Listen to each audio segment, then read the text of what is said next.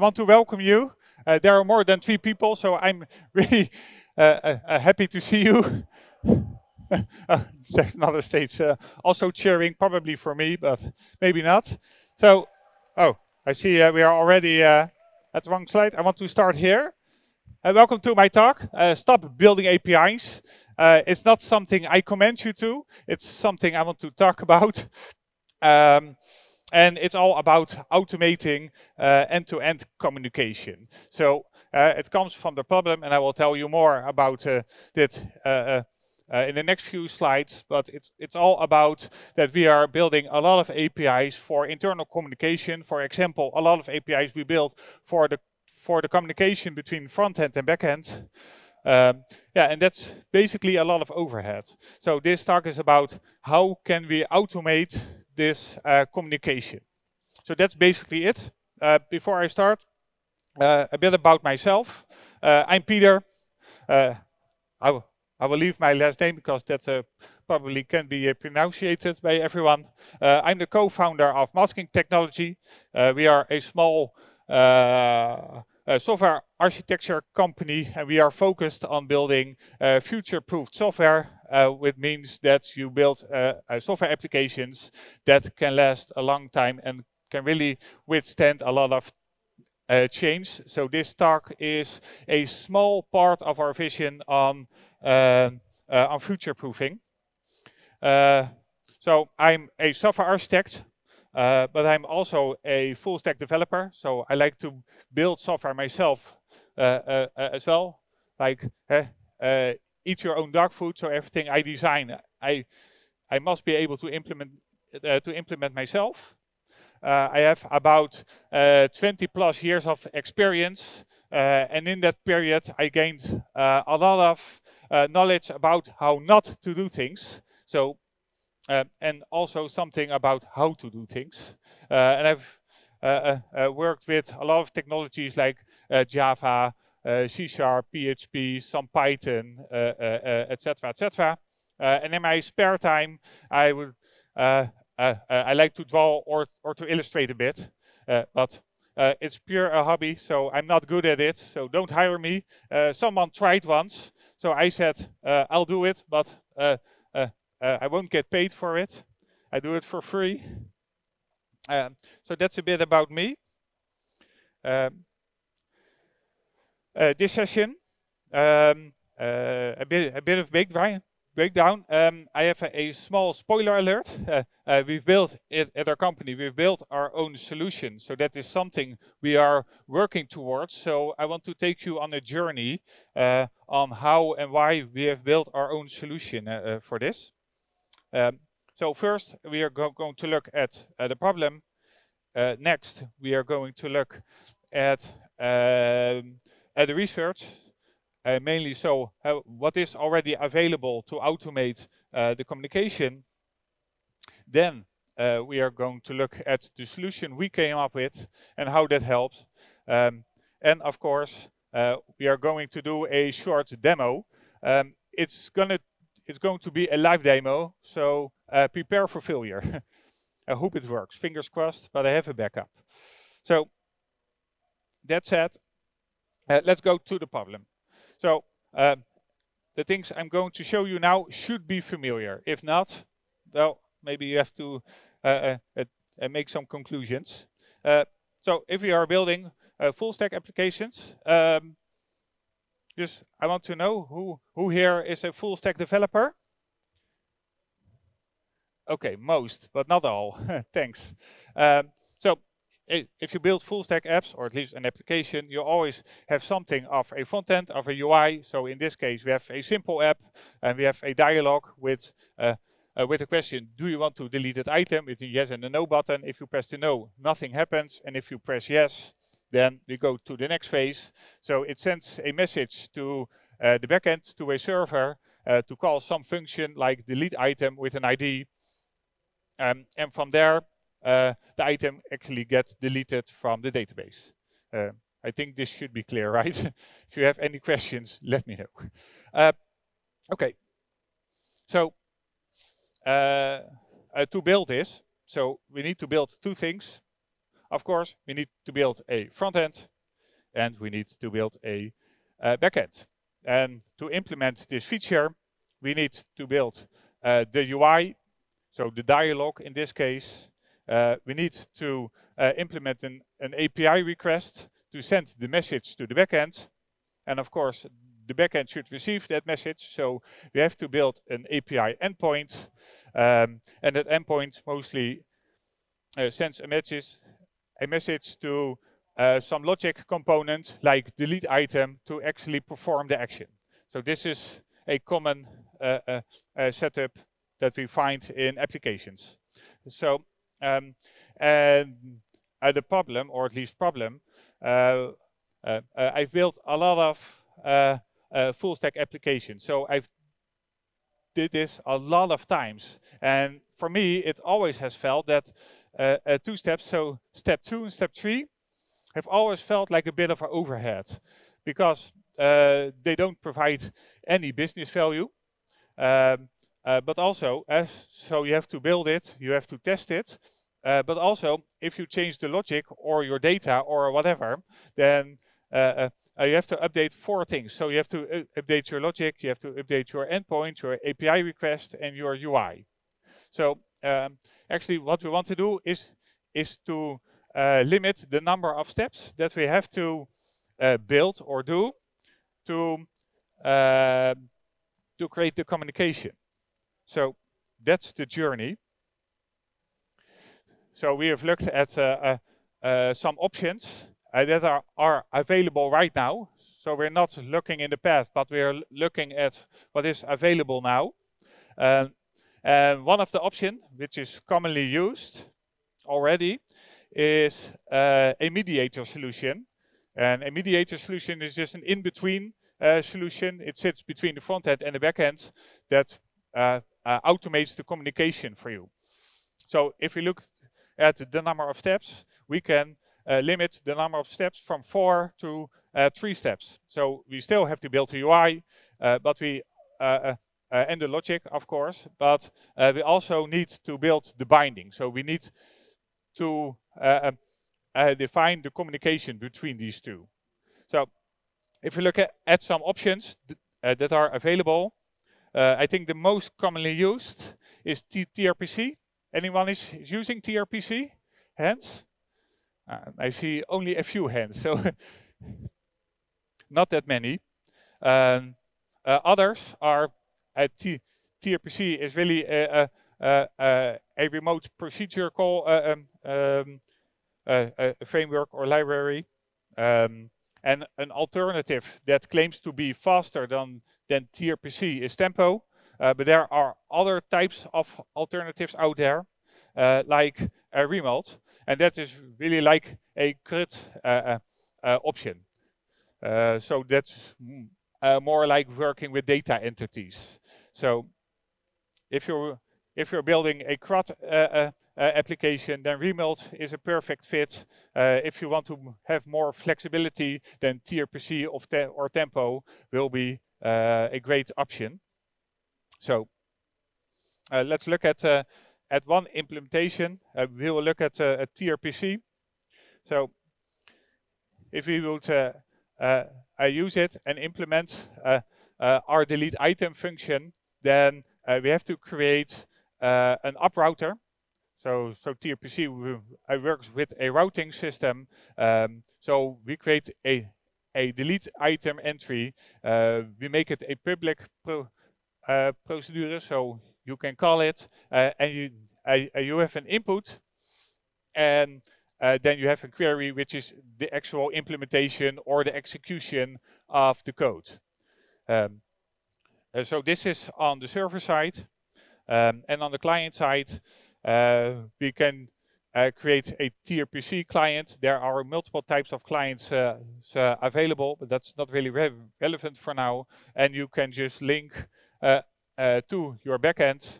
And from there, you can uh, use the TRPC client to execute your uh, function. so that's quite simple. And what TRPC provides is end-to-end -end type safety. So, which means if you change your function on the backend, then uh, uh, you will get an error on the front end. So it knows that it has to align to each other. So that is really uh, helpful in my experience. So, so that is one option. Uh, another option is a bit newer, uh, is a bit upcoming, um, and that are uh, meta frameworks. Um, and what these do, uh, these go a even a step further than the mediators. So they really glue the front end and the back end together. So they uh, live in one uh, code base, so next to each other. Uh, and by that, they uh, limit the number of steps from three even to two. So that means we only uh, uh, uh, have to build the UI and the logic, and we can forget about the rest. So this is kind of an ideal si situation, right? So this is uh, starting to look like something. Well, a few men and meta frameworks. I think one can be guessed. Uh, uh, the best known, I think, is Next.js. Someone is using a meta framework or, or Next.js. Uh, more hands than TRPC. Uh, uh, fun fact is that Next.js is commonly used with T TRPC, at least more and more. Uh, at least that is the trend that I see.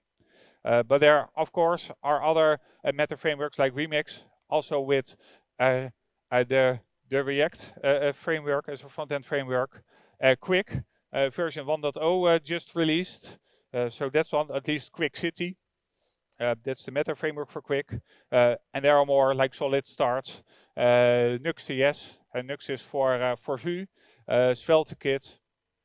Yeah, and there are more out there, but uh, these are the most uh, popular ones. So how does how does that work? If we look at, at Next.js, then they have something called server actions, but this is still in alpha phase.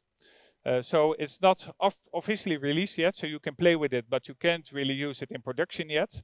Uh, uh, but what you can do is is build your server function like delete item, and you can annotate it as a use server, like uh, Next.js uses uh, a system that you can annotate it to use the client or the server, so that is quite clean.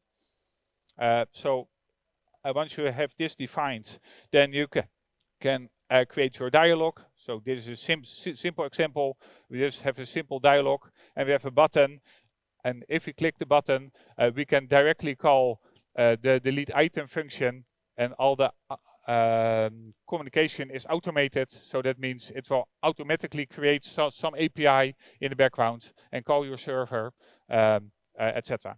Um, uh, so that is already what's happening now. And of course, you can always add middleware to these solutions as well to TRPC uh, as and meta frameworks. So you can add uh, validation, security, etc. So so it's not really open. You can really uh, uh, uh, get a grip on what needs to happen with your communication. Um, yeah, so that is is a great start. Um, so now uh, we have looked at, at two uh, type type of solutions, and I think that the meta frameworks are the are the most obvious ones uh, to use, at least from my perspective, because you have uh, uh, uh, eliminated all the communication. So you don't have to build the communication yourself. but if we look at the pros and the cons, well, the pros, of course, are it's fully automated. So uh, two steps left, only the UI and the logic. Um, and it's an out-of-the-box solution. Uh, so you don't have to install an additional dependency and you just can uh, can go after install. Uh, but it's also an additional uh, vendor lock-in. So if you use a framework um, uh, and something gets outdated or doesn't fit your needs anymore, then yeah, you have to replace your framework, uh, and that means a loss of all your automated co communication as well. So that's kind of a risk, at least from a future-proofing uh, perspective. This is a bit of a risk. Um, if we look at a mediator solution, uh, well, the pros are that uh, they have a better uh, portability. So that means if you want to uh, change to another mediator, the impact is not that big as uh, replacing your whole meta framework.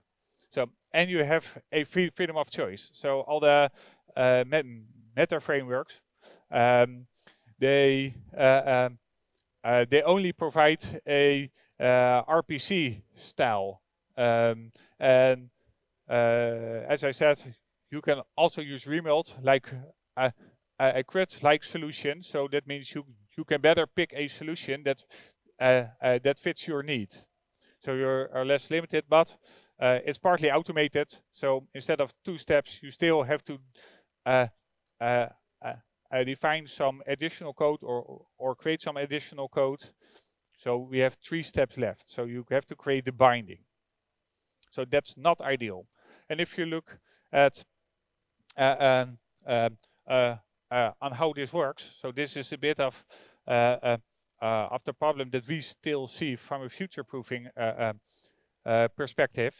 Um, both the mediators and the uh, meta frameworks, they are in-code solutions. So that means if you want to migrate from the one from, from, from the one or the other, yeah, uh, the code is not equal to each other. So that means you all uh, you always have to refactor something. Uh, yeah, and if you have to replace your full mem meta framework in a year or five or six, yeah, that's can still be a lot of work. So that brings us to the next. So uh, we see that the problem is in the code. So uh, in our uh, ideal world, uh, all the co communication part, which is the overhead, which doesn't add any business value, should not be in the code. Should be easy to be replaced. So, uh, but if it can be in the code, uh, where should it be?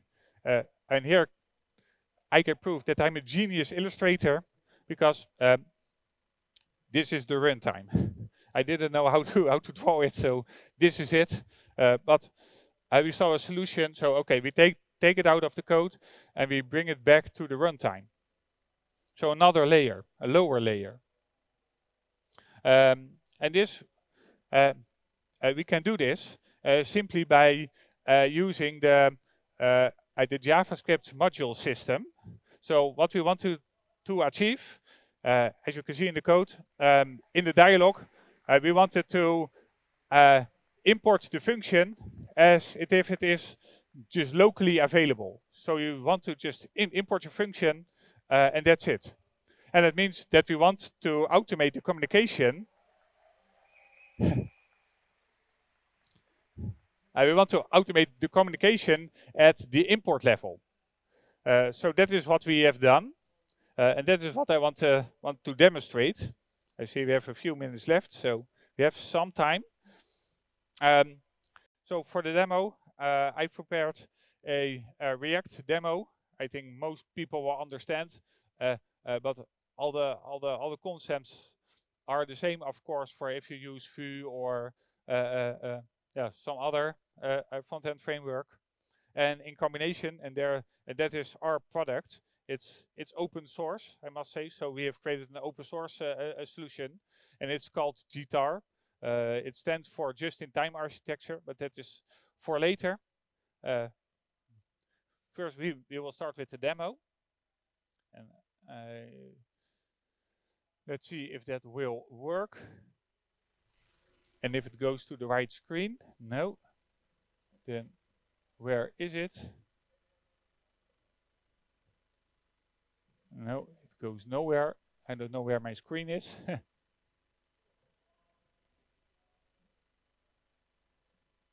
okay, I can't find my screen. oh, I'm sorry, I have to uh, see where my screen are. Uh, where the screen is, uh, orange. Oh, okay.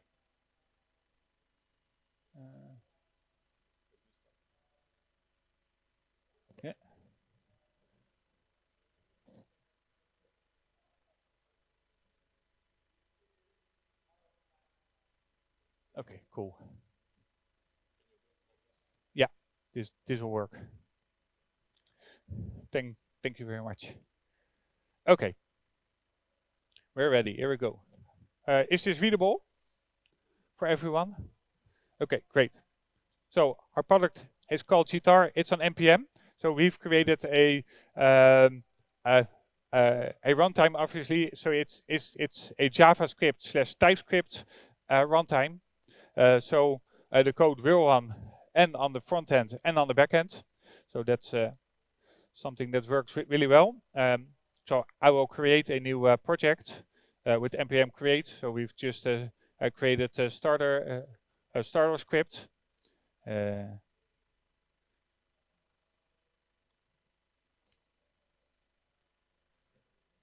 so I will just name it a Jitar project, Uh, and I will pick uh, uh, a React for, for now. So now I can go to the folder.